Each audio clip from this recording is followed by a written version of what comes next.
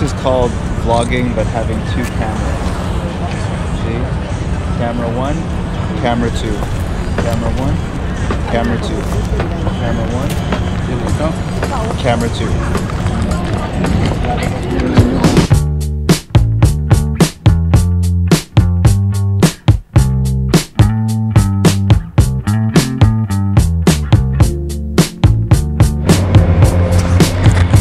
What's up guys? We are back in Melbourne. Took the red eye from Sydney and just arrived in Melbourne this morning.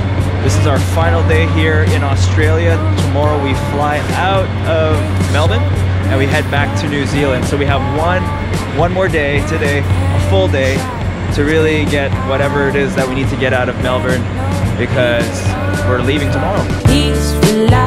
Peaceful life, peaceful We are visiting a spot that I have on my list of places to visit, which we didn't have time to visit the last time we were here before we headed off to Sydney, and that is the Riverside area.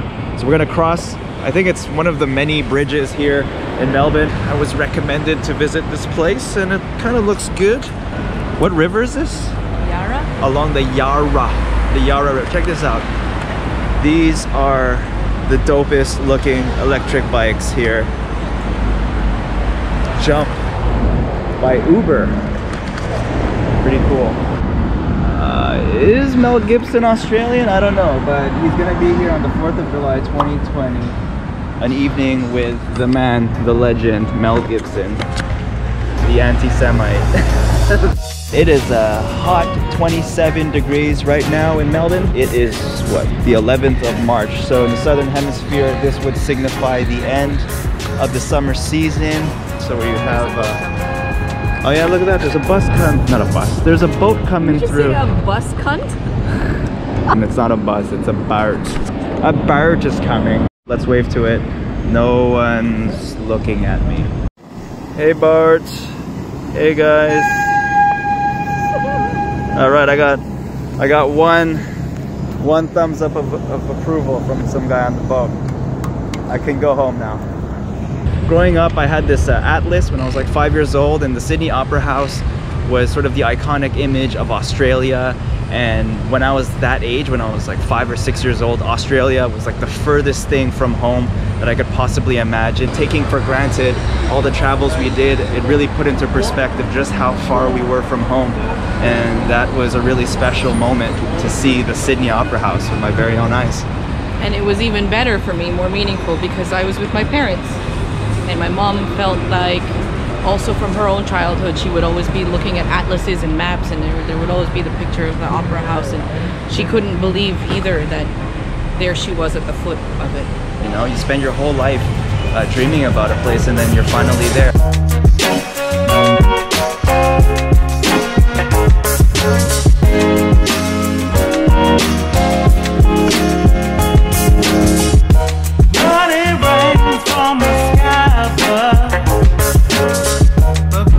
Anticipating it to be this hot today. The whole week we've been in Australia, it's been hovering around the low 20s, 18 to 20 degrees.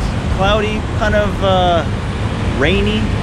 So today is the hottest day of the last 10 days that we've been in Australia at 28 degrees. I'm kind of wishing I opted for shorts instead of skinnies, but uh, you know, you live with the decisions you make, the decisions you make shape who you are. Real talk, hashtag. Roll eyes. Roll your eyes. Okay, Google. Hey, Google. Okay, Google. Hey, Google. What is there to do near me?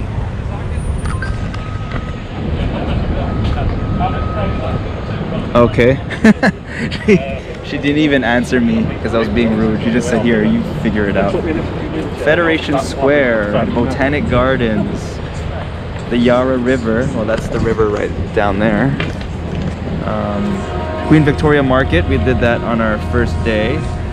Central Business District. I think we covered the main things.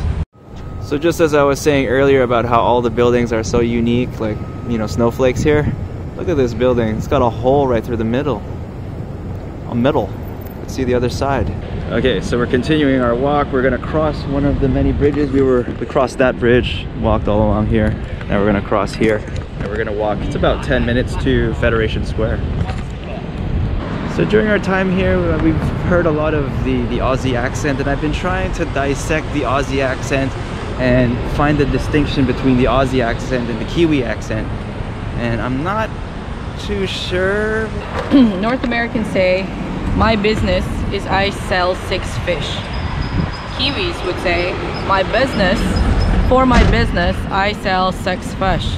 Sex fish. Sucks. Uh, who's left? Aussies would say, for my business, business, I sell six fish. So it's like varying degrees of Lazy. twanginess and laziness. Six fish, six fish, six fish. Six fish. I want to buy six fish. Then how would South Africans say it? Peaceful life, peaceful life. I feel the wonders of the sun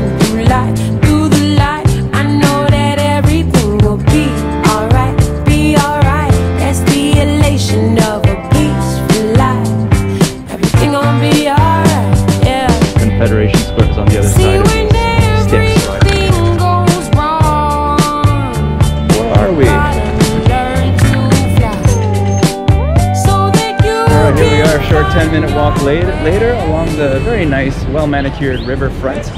We're here, Federation Square. Okay, so we said we'd come here and we did. Seems like there's a lot of Ferrari, Renault, Mercedes tents up. I think there's like a kind of like an F1 racing event going on. Real reason why we came down here is because it's our last day here. And then you got that FOMO that kicks in, right? The fear of missing out. You got to do things just for the sake of doing things because you don't know when you'll ever be back. So Shake your pain away. All will be All right, so we're gonna hop on the tram. It's free in the CBD, so we don't have to pay anything. Get back to the bus station where Ling's parents have been so patient and watching our luggage so we can check into the Airbnb.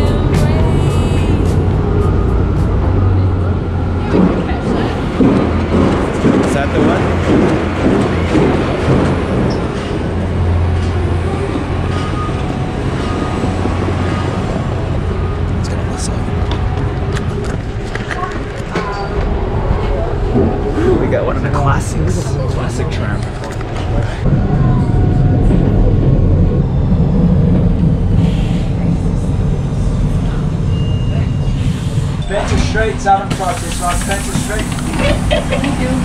Just so you know, it's not-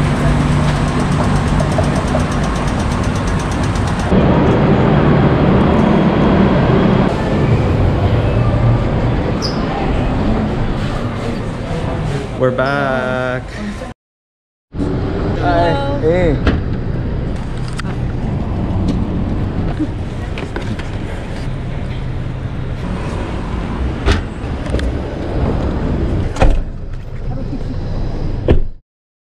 All right. Wait, wait, wait, wait. Gonna jump out of the moving vehicle.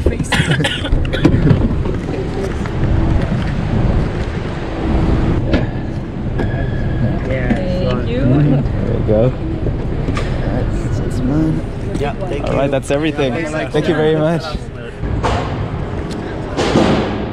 Yeah, we got- We are completo.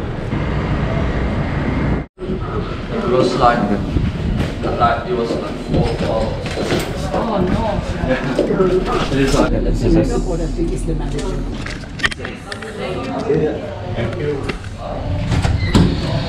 least it doesn't smell like ramen. I said. I didn't order pizza. And we don't have pizza, so it's only. uh, home sweet home. All right, back in Melbourne, back in the Airbnb where it all started. It's about 1:45 in the afternoon. We still got some more time. We got our afternoon and evening in Melbourne, and then tomorrow we're off to New Zealand. First things first, gonna grab a shower, grab a quick nap, and then it's back to more sightseeing.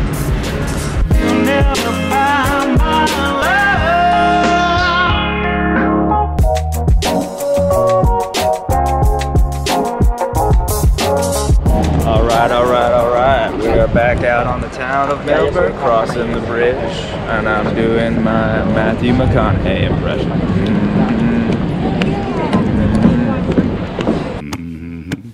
Come on. Mm, all right, let's keep going.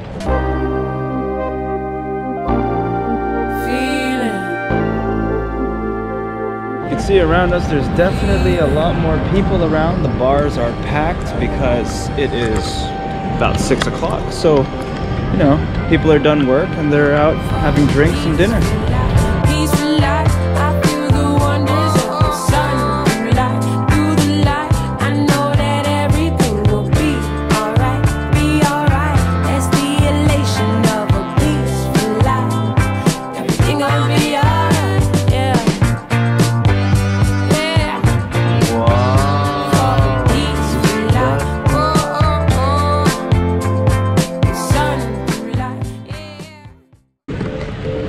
I'm just here on Google trying to figure out where we should have supper.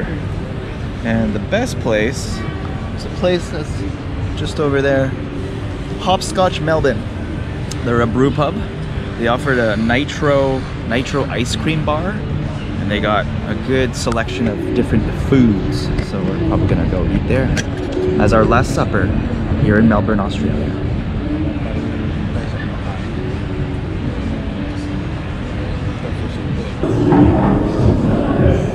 Hopscotch. Look at this. You don't even have to go to the bar. You can just, oh, you can just order right here. Order Do you have a. QR reader? No. From grain to tap. Grain to tap. All right, so we are ordering direct from the app here.